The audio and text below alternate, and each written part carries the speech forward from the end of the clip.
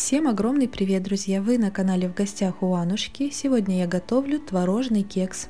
Тесто для этого кекса готовится очень просто. Кекс получается очень нежный, он влажный и абсолютно не крошится. Сегодня в тесто я буду добавлять лимон. Если не хотите использовать лимон, добавляйте любимые сухофрукты. Все продукты для кекса должны быть комнатной температуры. Также заранее сразу включаем духовку на 180 градусов. Тесто готовится очень быстро.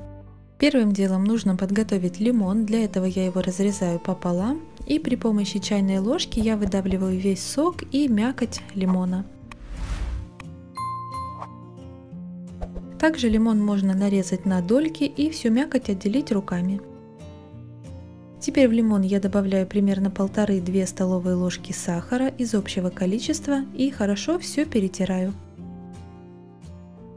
Лимон с сахаром пока убираю в сторону и начну приготовление теста. Для теста я беру 100 грамм мягкого сливочного масла. В масло всыпаю сахар, по рецепту идет 220 грамм, это 11 столовых ложек. Почти 2 столовые ложки я всыпала в лимон, поэтому беру примерно 9-10 столовых ложек, не полных. Еще добавляю щепотку соли и ванилин. Мы очень любим аромат ванилина, поэтому я добавляю целую пачку. Вы можете добавить половину пачки. Теперь все это нужно перемешать до однородности. Удобнее всего это сделать при помощи миксера. Если миксера нет, делайте это все обычным ручным венчиком. Дальше в чашу миксера я добавляю творог 280 грамм. У меня творог вот такой вот крупный, поэтому я его пробиваю блендером. Если не хотите этого делать, покупайте сразу мелкий творог. Творог выбирайте 9-12% жирности. Снова все хорошо перемешиваю до однородности.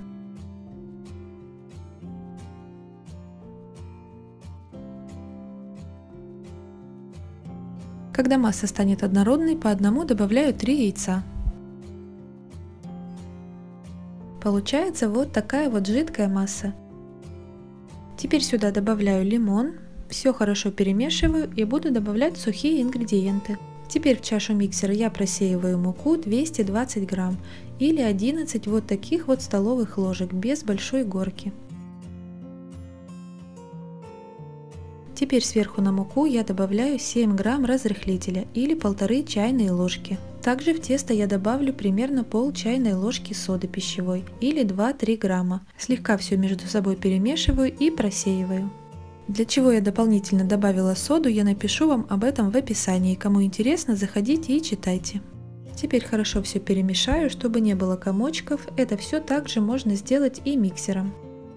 Получается вот такое вот густое тесто, оно уже начинает пузыриться, пошла реакция разрыхлителя, соды. Сейчас все нужно очень быстро переложить в форму. Форму я также подготовила заранее, смазала сливочным маслом и посыпала панировочными сухарями. Если у вас нет такой прямоугольной формы, можно использовать вот такие вот одноразовые формы. Вам понадобится две штучки, тесто разделите ровно на две части. Обычную форму также можно просто застелить пергаментом и не смазывать маслом.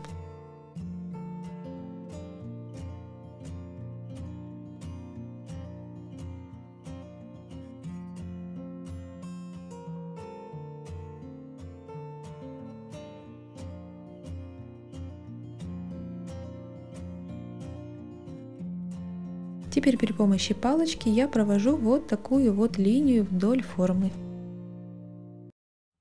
У меня получается вот такая вот не очень глубокая лунка. Теперь сюда немного наливаю растительного масла.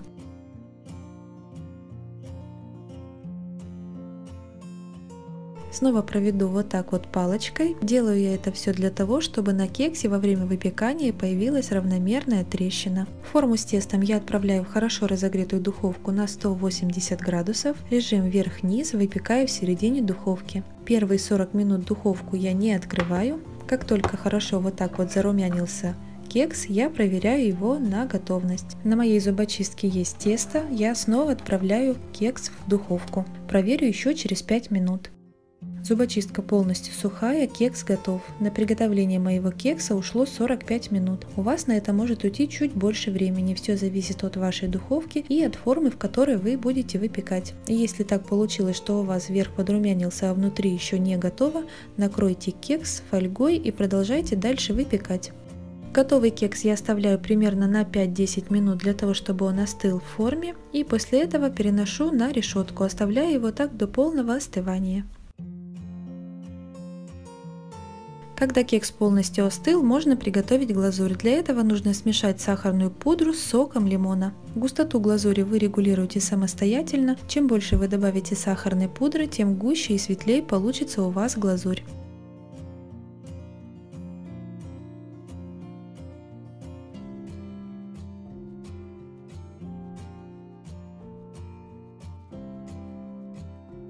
Глазурь очень быстро высыхает, поэтому практически сразу можно резать кекс.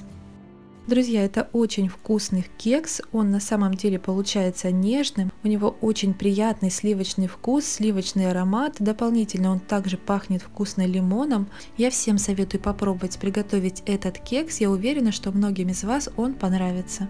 Посмотрите, какой он получается воздушный внутри и при этом остается влажным. Это очень вкусно. Спасибо, что досмотрели это видео до конца. Готовьте с удовольствием. Не забывайте подписываться на мой канал, нажимать на колокольчик, чтобы не пропустить новые видео. Я с вами не прощаюсь. Впереди у нас еще очень много интересного и вкусного. До новых встреч!